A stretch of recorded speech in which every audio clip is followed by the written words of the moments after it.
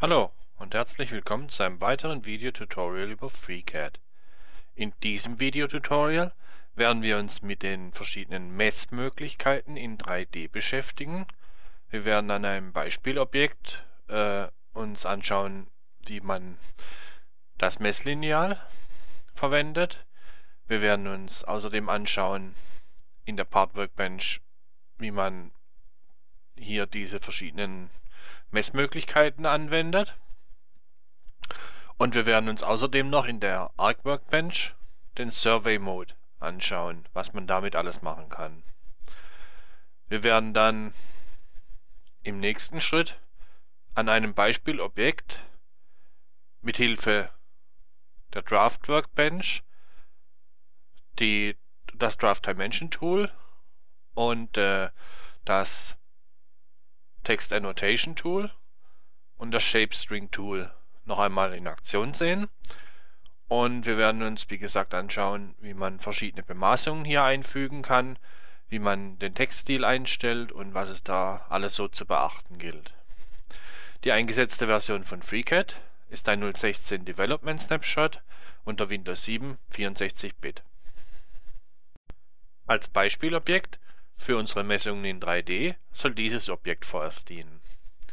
Wenn ich also mir als erstes dieses Lineal-Tool hier oben anschaue, dann kann ich damit den Abstand von zwei Punkten in 3D absolut messen.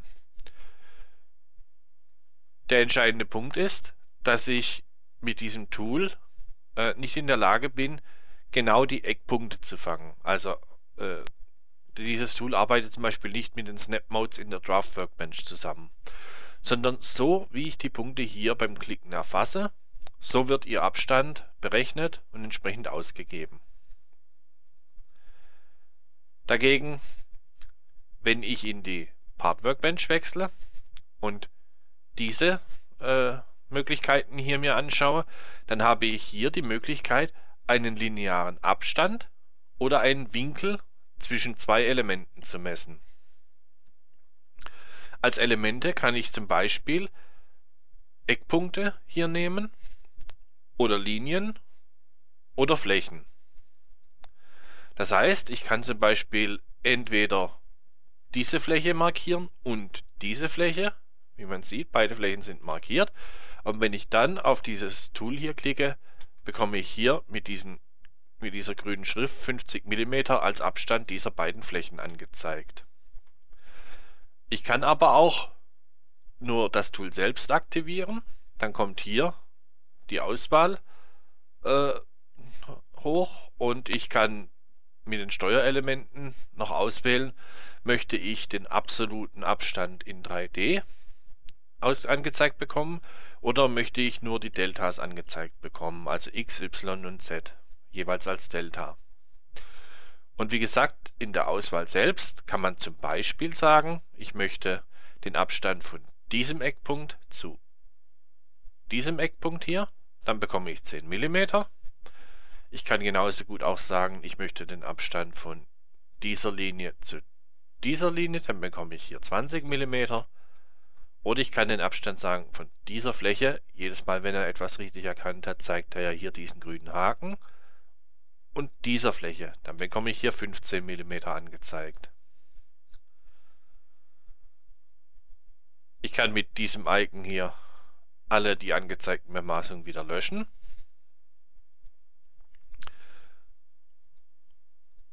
Und kann noch zusätzlich als Trick auch innerhalb von Skizzen diese Messungen durchführen mit Hilfe von diesen Tools.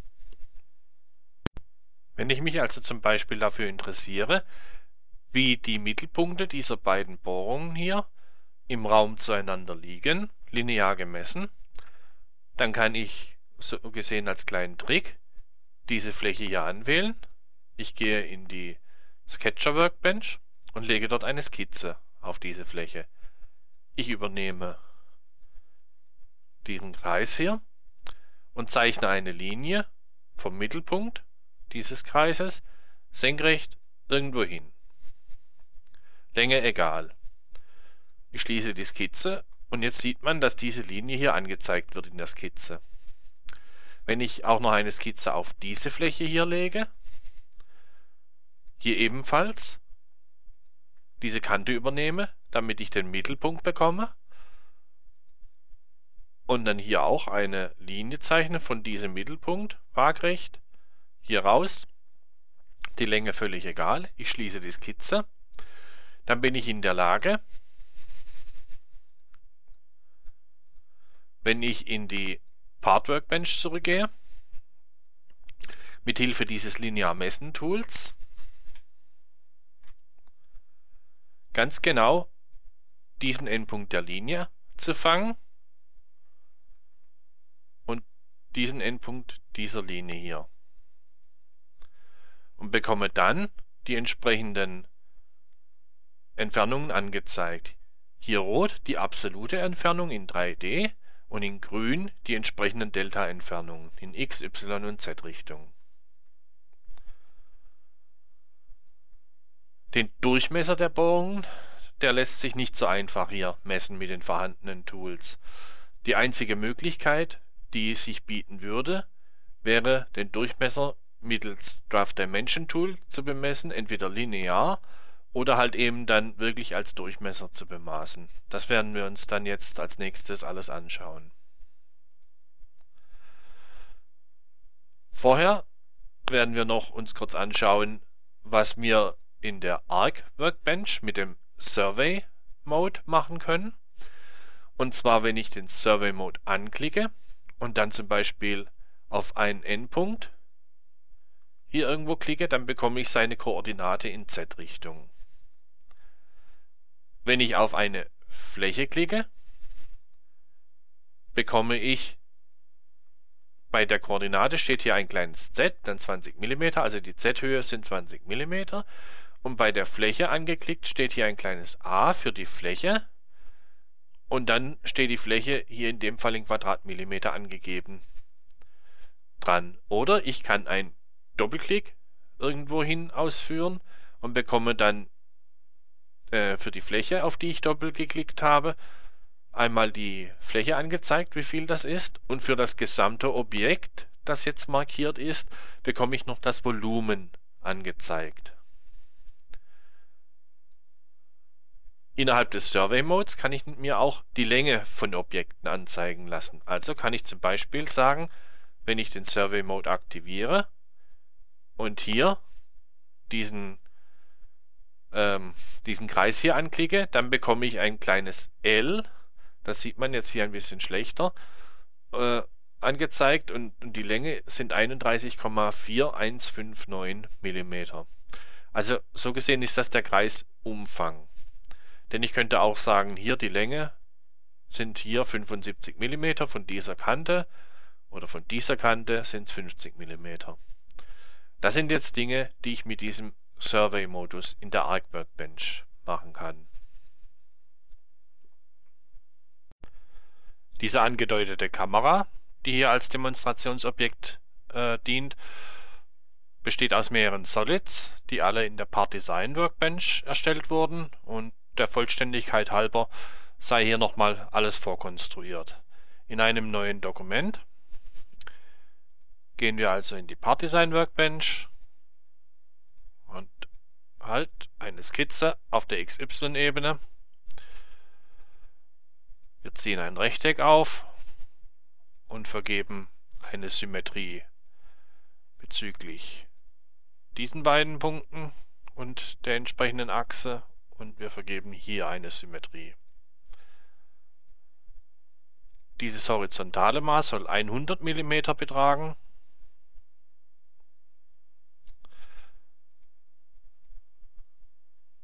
Dieses Maß hier soll 30 mm betragen.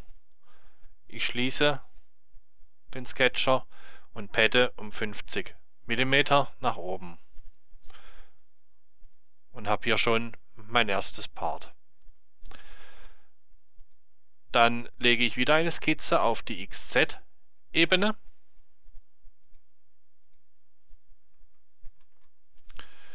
Ich verwende das Polylinienwerkzeug, beginne hier mit einer senkrechten Linie, waagrecht drüber, senkrecht hoch, waagrecht rüber, senkrecht hoch, waagrecht rüber, senkrecht runter und dann hier wieder zurück. Dann vergebe ich hier noch die senkrecht Beschränkung, die er nicht richtig erfasst hat. Ich vergebe hier eine Gleichheitsbeziehung und dann vergeben wir noch hier eine Symmetrie. Und wenn wir noch sagen, dass diese beiden hier gleich lang sein sollen, brauchen wir nur noch zu sagen, dass das hier 10 mm in der Höhe betragen soll. Hier ebenfalls 10 mm in der Höhe. Das hier sind 30 mm. Das hier sind 100 mm. Und dann brauche ich nur noch den Abstand dieses Punktes vom Ursprung in vertikaler Richtung mit 50 mm festlegen. Und dann habe ich hier schon die Skizze vollständig definiert. Ich padde symmetrisch zur Ebene um unseren bekannten 30 mm, sage OK und verpasse dieser Kante hier einer, äh, eine Formschräge von 10 mm. Und dann brauche ich nur noch unseren Zoom-Knopf und unseren Auslöser zu modellieren und vorne drauf diese die Kameralinse im Prinzip. Und dann sind wir auch schon fertig. Also um die Kameralinse zu modellieren, Durchmesser 50, 30 von der unteren Kante entfernt, mittig und 20 ausgetragen, kann ich also sagen, ich setze mich auf diese Fläche, hier ein Kreis, ich schaue zu, dass ich den Mittelpunkt auf die Achse skizziere. Dann das hier sind 30 mm. Der Radius beträgt 25 mm.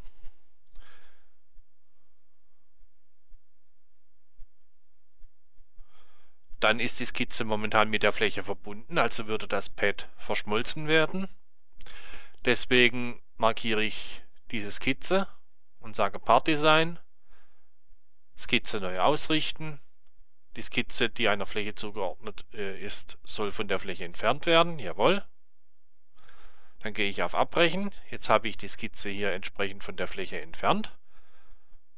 Ich äh, drücke hier dann noch auf Aktualisieren. Und dann kann ich die Pad-Operation mit 20 mm ausführen und habe ja auch schon die Kameralinse entsprechend modelliert. Um unseren Zoom-Drehregler mit einem Durchmesser 20, 5 hoch, 15 hier rein auf die Mitte, also schauen wir uns da auch das mal an. Wir gehen auf diese Fläche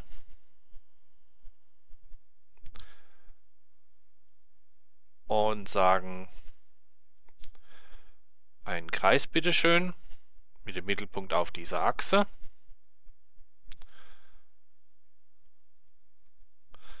Dann blende ich kurz diese beiden Solids aus und gehe wieder in die Skizze, damit ich etwas besser arbeiten kann. Diese Entfernung sind 35 mm. Das hier ist ein Radius von 10 mm. Ich schließe. Ich löse wieder die Skizze von der entsprechenden Fläche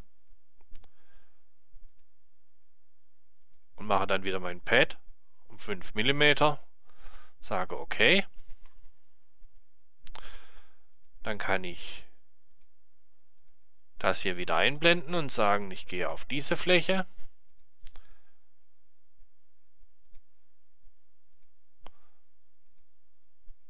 und skizziere hier meinen Auslöser drauf.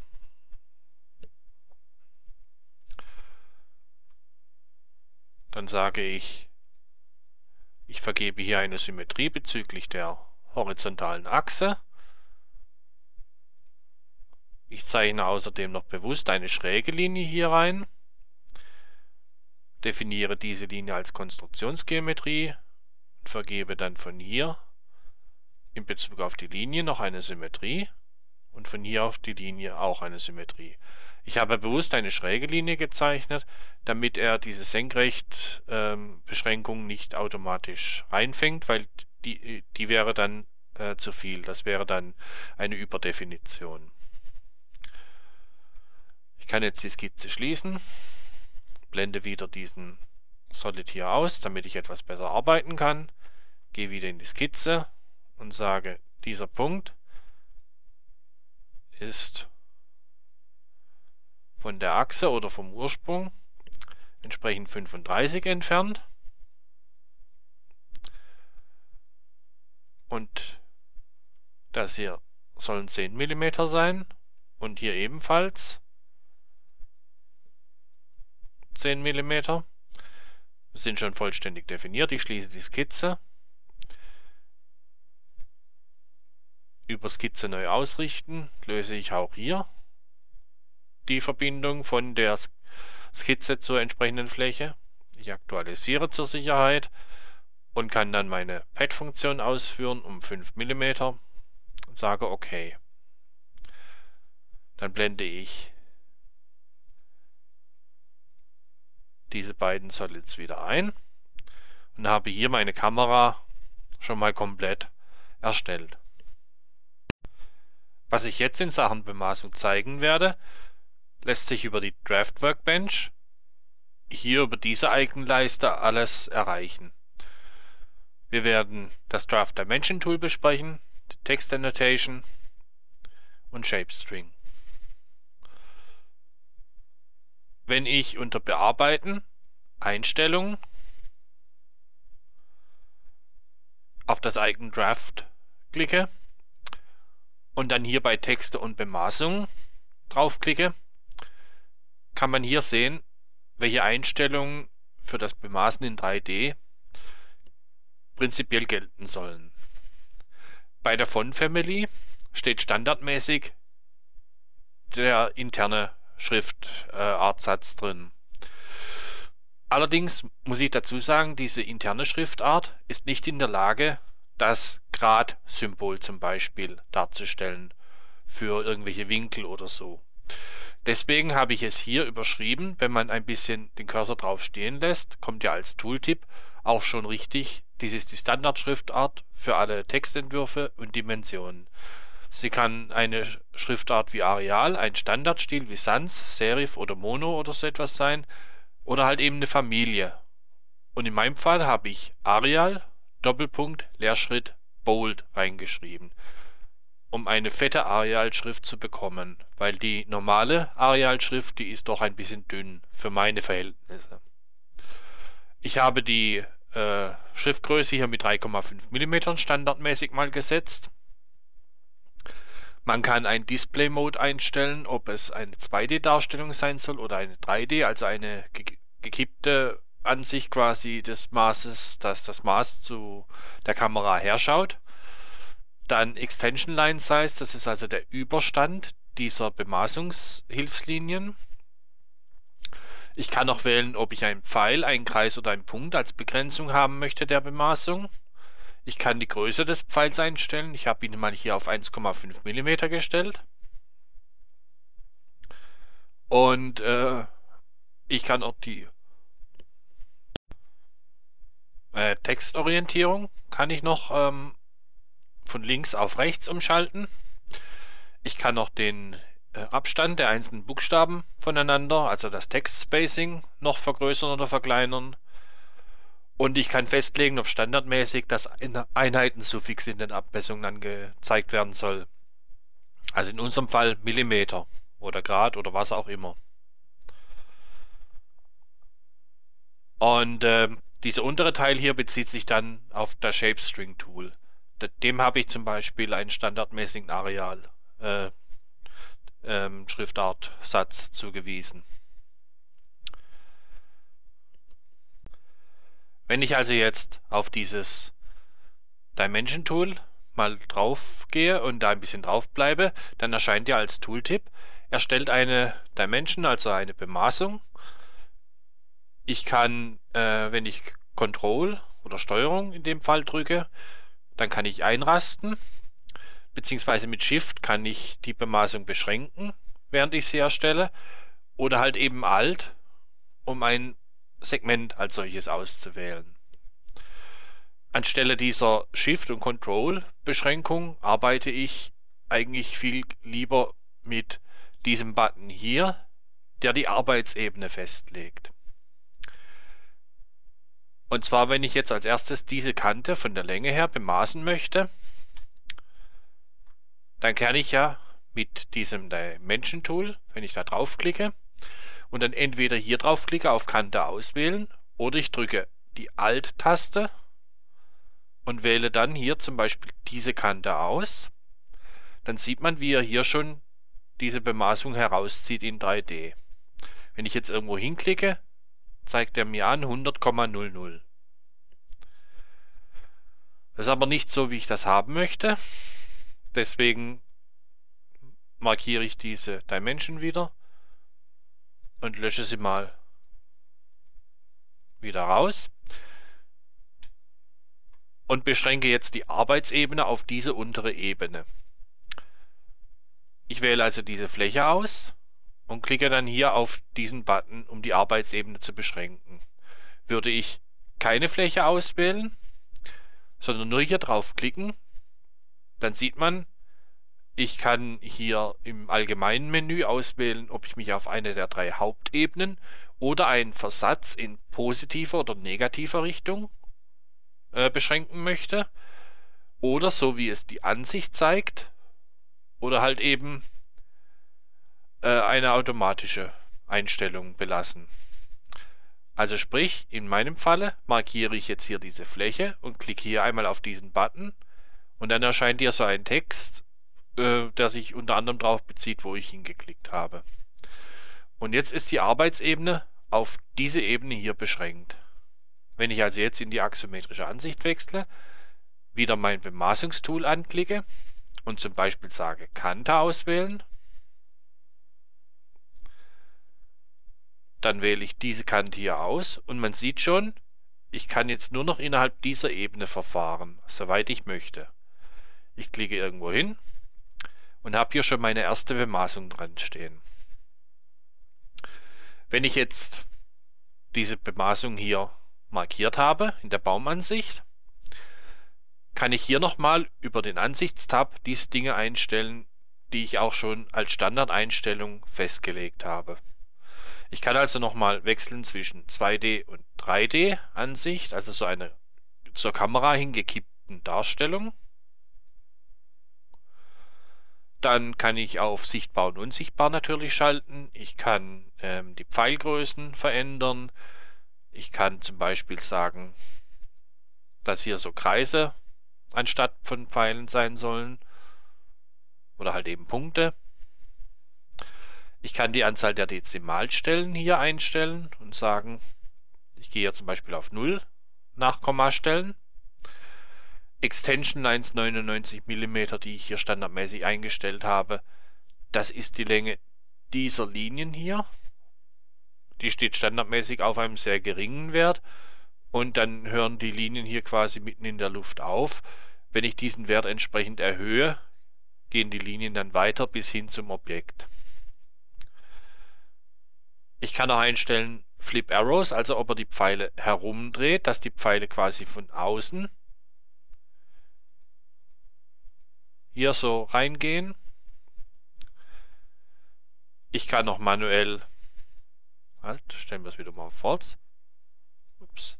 Ich kann noch manuell die, den Fontnamen und äh, die Fontgröße ebenso wie die entsprechenden Linienfarben äh, beeinflussen. Ich kann die Breite der Linie beeinflussen und ich kann manuell den Text überschreiben mit mit bla bla bla oder was auch immer. Wenn ich hier nichts eintrage, also diesen Eintrag wieder lösche, dann kommt hier wieder das Maß und wird angezeigt. Ich muss ehrlich zugeben, was Pattern und Pattern Size anbelangt, habe ich das noch nicht schlüssig herausgefunden, was das in diesem Zusammenhang bewirken soll. Show Unit wäre also, ob er noch die Millimeter anzeigt oder bei einem Winkel dieses Gradzeichen. Äh, Text Position, da könnte man manuell dann noch die Textposition korrigieren. 000 bedeutet auf der Linie. Und ich kann auch das Text Spacing, also die, die Schrittweite zwischen den einzelnen Buchstaben entsprechend vergrößern oder verkleinern, so wie ich das haben möchte. Unsere Arbeitsebene ist ja nach wie vor auf diese Fläche hier beschränkt, also so gesehen auf die XY-Ebene. Also kann ich auch sagen, ich wähle wieder das Bemaßungstool, drücke die Alt-Taste und wähle das hier aus, diese Kante, und ziehe dann das Maß hier hin. Wenn ich das Maß entsprechend korrigieren möchte von seiner Position her, kann ich auf den Datentab hier wechseln und sicherstellen, dass dieses Maß hier markiert ist. Dann kann ich hier unter Dimline X- und Y-Position dieses Maßes entsprechend verändern. Ich kann also aus x 75,5, ja, was hier im Moment entsprechend ist, kann ich zum Beispiel 55 machen. Und schon ist das Maß viel näher an der Kante dran als vorher. Diese 55 beziehen sich auf absolut 0 und der Nullpunkt liegt ja in der Mitte dieser Fläche.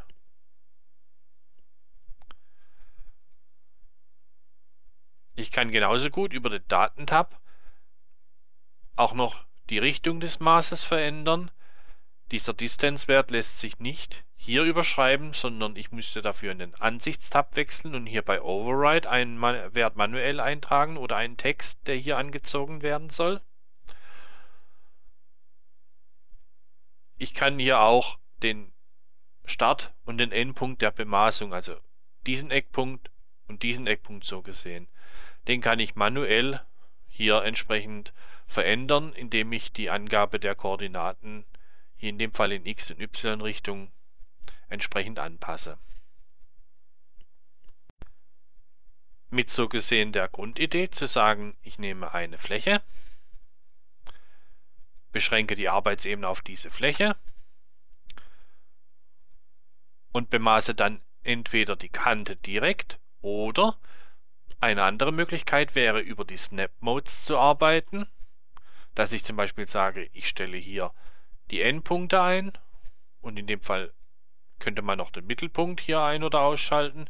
Ich brauche jetzt mal nur die Endpunkte. Ich wähle das Bemaßungstool und sage, ich wähle das hier als Startpunkt und das hier als Endpunkt. Ich warte immer kurz, bis rechts neben dem Cursor das entsprechende Symbol aufleuchtet und kann dann hier die Bemaßung entsprechend rausziehen. Wenn ich diese Bemaßung jetzt andersherum ausgeführt hätte, also hier den Startpunkt und hier den Endpunkt gesetzt, und dann entsprechend rausgezogen hätte, dann wäre hier die Leserichtung anders geworden. Also sprich, indem ich hier die Snap Points ver äh, verwende und von Endpunkt zu Endpunkt oder Mittelpunkt oder was auch immer entsprechend hier bemaße, kann ich die Leserichtung oder vielmehr die Drehrichtung des Textes beeinflussen.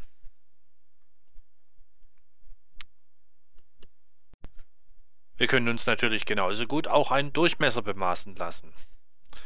Indem ich also diese Fläche hier anwähle und durch Klick auf diesen äh, Button hier die Arbeitsebene auf diese Fläche beschränke. Dann klicke ich wieder ins Leere, um zu deselektieren. Ich wähle dann mein Bemaßungstool aus, sage Kante auswählen und wähle dann diese Kante hier aus und klicke hier zum Beispiel so hin dann wird dieser Durchmesser hier entsprechend bemaßt. Ich kann auch wieder über Ansicht die üblichen Dinge hier einstellen.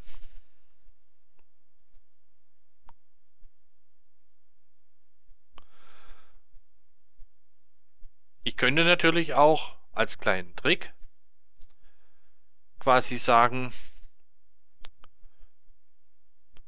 wenn ich äh, über die Snap Modes hier entsprechend den Kreis Mittelpunkt fange und zum Beispiel dann hier notfalls einen Quadrantpunkten fange, also zum Beispiel, dass ich dann sage, ich verwende äh, das entsprechende Tool hier, habe bei den Snap Modes den Kreis Mittelpunkt eingeschaltet, also diesen Punkt. Dann gehen wir zum Beispiel noch auf den Quadranten los und sagen diesen Quadranten hier. Dann könnte ich so gesehen hier eine Art Radiusbemaßung entsprechend noch äh, darstellen, beziehungsweise in dem Falle müsste man dann wegen der Lesrichtung natürlich zuerst von links nach rechts so gesehen entsprechend bemaßen. Ja, fängt das nicht richtig, dann schalte ich noch die Quadranten aus. So, jetzt fängt er das richtig. So, und dann könnte ich, wenn ich diese Bemaßung hier entsprechend markiere, dass ich die dann zum Beispiel noch auf Z30 stelle. Und wenn ich jetzt dieses Maß hier entferne, dann sieht das schon wie ein Radiusmaß hier entsprechend aus.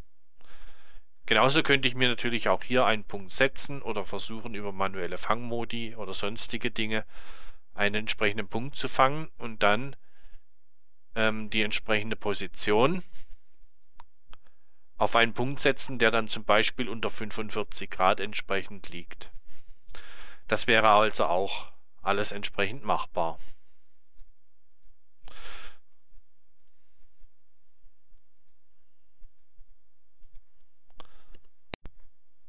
Man kann natürlich auch die entsprechenden Durchmesserbemaßungen sich im Prinzip als lineare Bemaßung anzeigen lassen. Also hier habe ich ja nicht den Durchmesser an sich bemaßt, sondern ich habe die entsprechenden Quadrantpunkte bemaßt. Wie habe ich das also hier durchgeführt? Ich habe hier in diesem Falle die Arbeitsebene auf die XY-Ebene plus 30 mm als Beschränkung festgelegt. Also ein Versatz um 30 mm XY. Dann habe ich als Snap Modes die Quadranten aktiviert und kann dann sagen, ich bemaße von diesem Quadrantpunkt zu diesem Quadrantenpunkt. Und ziehe dann meine Basung entsprechend raus. Das geht genauso. Genau das gleiche habe ich hier mit diesem Durchmesser hier entsprechend angestellt. Genauso kann man auch über die Snap Modes zum Beispiel folgendes machen. Ich schalte wieder die Quadranten ein und zusätzlich schalte ich noch diese Senkrechtfunktion ein. Ich bemaße dann in dem Fall von diesem Quadrantpunkt dieses unteren Durchmessers. Da gehen wir mal noch ein bisschen näher hin.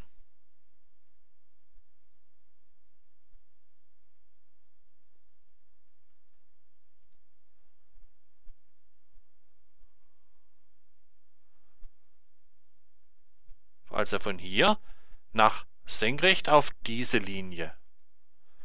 Und kann dann, na, jetzt habe ich vergessen, sehe ich gerade. Die Arbeitsebene hätte ich noch vorher beschränken müssen. Also die Arbeitsebene hier drauf beschränken, das Bemaßungstool anwenden. Ich habe senkrecht und die Quadranten eingeschaltet und dieser Quadrant auf senkrecht diese Kante und kann dann entsprechend hier herausziehen und erhalte hier dieses Maß von 15 mm gemessen so gesehen auf die Mitte dieses entsprechenden Durchmessers. Das ist also auch noch eine Möglichkeit, wie man entsprechend bemaßen kann.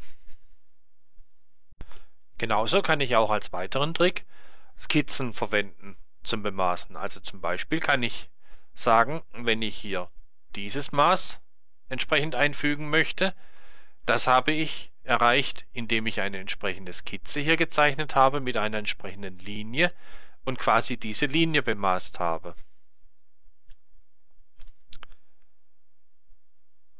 Die entsprechende Skizze kann man im Nachhinein dann entweder ausblenden oder sogar herauslöschen. Dieses Maß als äh, Element bleibt bestehen. Also sprich, man kann sagen, diese Fläche hier markieren. Dann gehen wir in die Sketcher Workbench, legen eine Skizze auf diese Fläche und sagen, wir machen hier eine entsprechende Linie. Ich könnte sie jetzt natürlich noch entsprechend bemaßen zum Nullpunkt mit allem drum und dran, so wie ich das hier mache, äh, richtig machen sollte eigentlich. Diese Zeit spare ich mir momentan. Und wenn ich jetzt hier hingehe, kann ich dann im nächsten Schritt wieder in der Draft Workbench sagen, ich bemaße Ich schalte bei den Snap Modes die Endpunkte ein und bemaße dann von diesem Endpunkt zu diesem Endpunkt und ziehe das Maß entsprechend heraus. Und kann dann wieder sagen, ich drehe die Anzahl der Dezimalstellen wieder auf 0 hoch und setze die Font Size auf 6,5 zum Beispiel würde jetzt hier noch dann die entsprechenden Maßpfeile hier rumdrehen und fertig. So ist diese Bemaßung hier erstellt worden. Im nächsten Schritt können wir uns auch noch anschauen, wie man Winkel richtig bemaßt.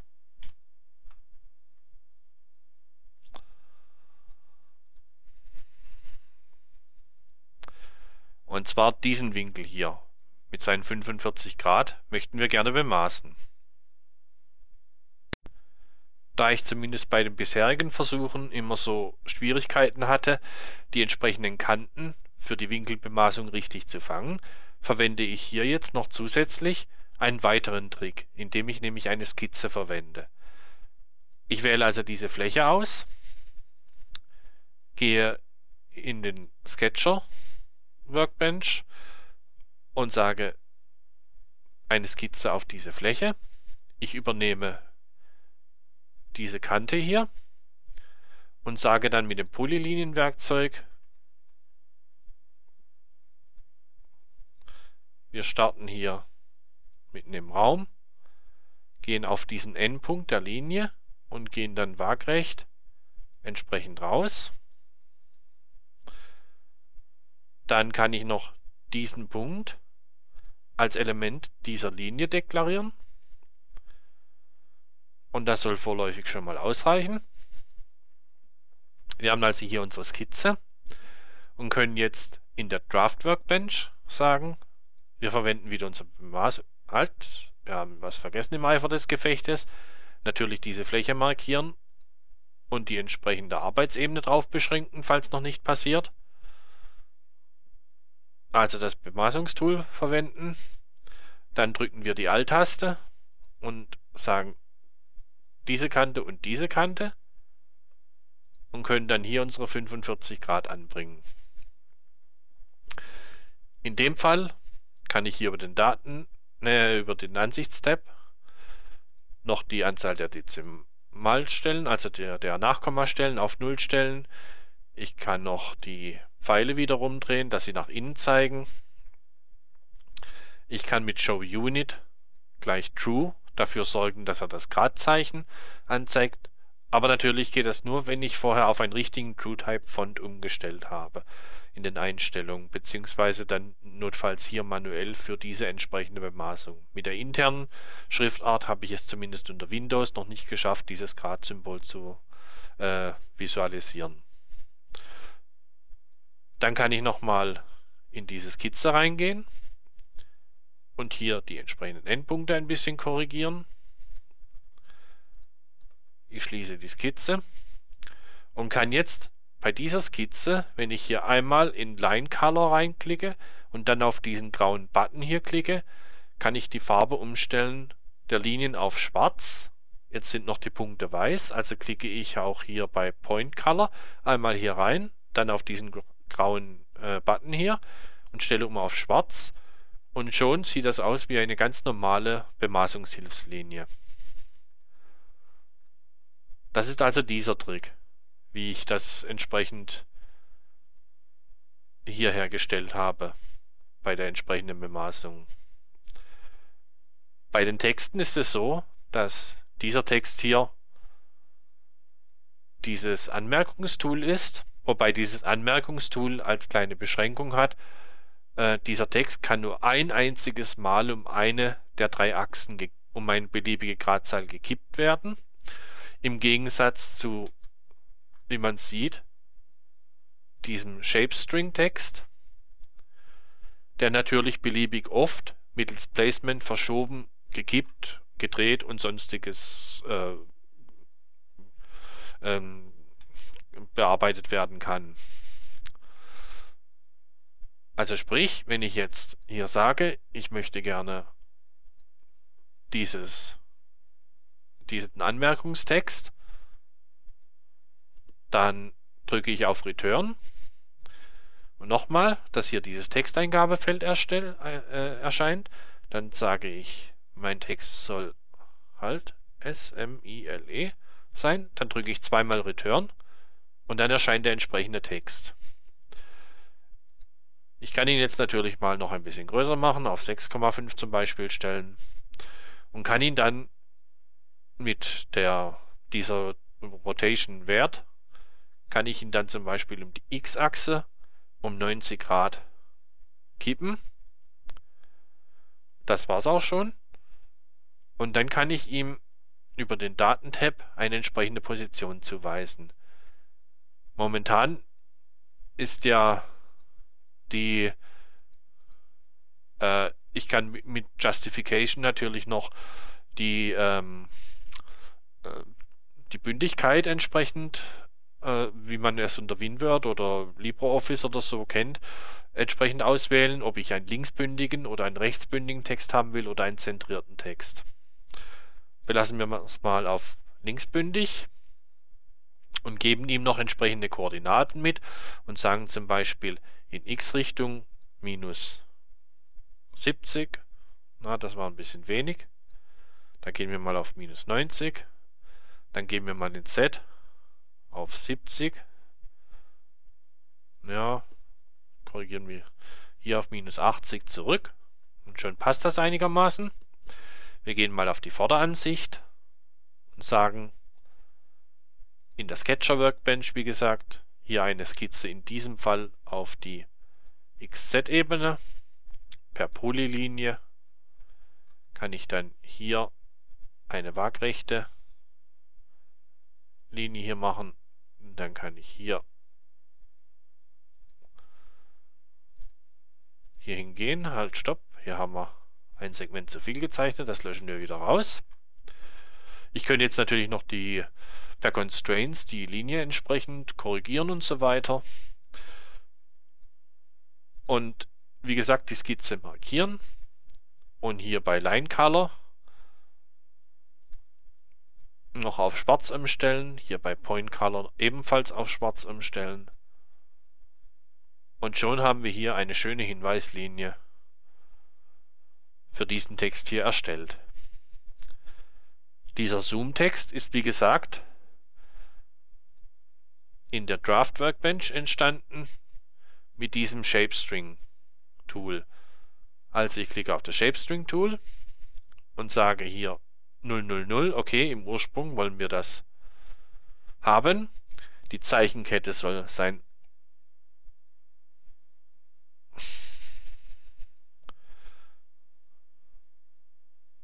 Zoom. Dann die Höhe soll sein 10 mm. Die Verfolgung 0. Ich habe ja standardmäßig bei meinen Einstellungen eine Verzweigung auf eine Kopie der Arial-Schriftart, die ich mir in das Benutzerverzeichnis kopiert habe, drin sitzen. Hier könnte man noch manuell eine andere Schriftart zuweisen, wenn ich wieder auf Return drücke. Steht hier unten Zoom. Aus Gründen, die sich mir nicht ganz erschließen, hat er da bereits bei Placement etwas eingetragen. Zurücksetzen, anwenden. So, jetzt haben wir Standardeinstellungen für dieses Zoom. Und ich kann mit Placement entsprechend inkrementell, zum Beispiel als erstes sagen um x, drehen wir es mal um 90 Grad, anwenden, dann drehen wir mal um z in 45 Grad, anwenden, dann gehen wir auf z von 60, Na, das ist noch ein bisschen wenig, gehen wir mal auf 80, das sieht gut aus. Dann gehen wir mal auf ein x von na, 30 ist ein bisschen wenig, vielleicht 50 und ein y von 20. Ja, das sieht fürs Erste soweit gut aus. Ich sage anwenden und OK. Und kann jetzt bei diesem Shape String, das ja momentan nur ein reiner Text ist, äh, ein, ein flacher Text, also nicht extrudiert und gar nichts, kann ich noch über den Ansichtstab sagen, bei Shape Color, das kann ich hier von grau umstellen auf schwarz, dann ist auch noch die innere Füllung schwarz. Dann kann ich noch eine Linie von mir aus sogar hier vom, vom Mittelpunkt dieses Kreises könnte ich noch versuchen zu fangen. Das wäre eine Möglichkeit. Oder ich kann halt einfach sagen, optisch reicht es mir völlig aus, eine Linie von hier zu ziehen zu diesem Fußpunkt von dem Zoom.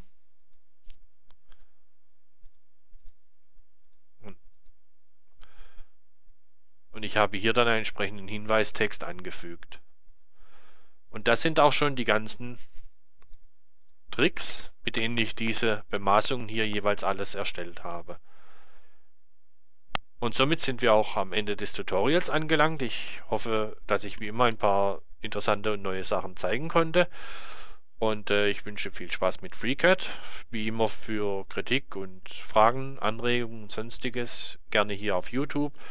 Wenn äh, die Fragen etwas komplexer werden und vielleicht auch Screenshots benötigt werden, bitte im Forum sich registrieren und das nutzen und äh, ansonsten sieht man sich vielleicht in einem anderen Tutorial wieder. Bis dahin viel Spaß mit FreeCAD und tschüss!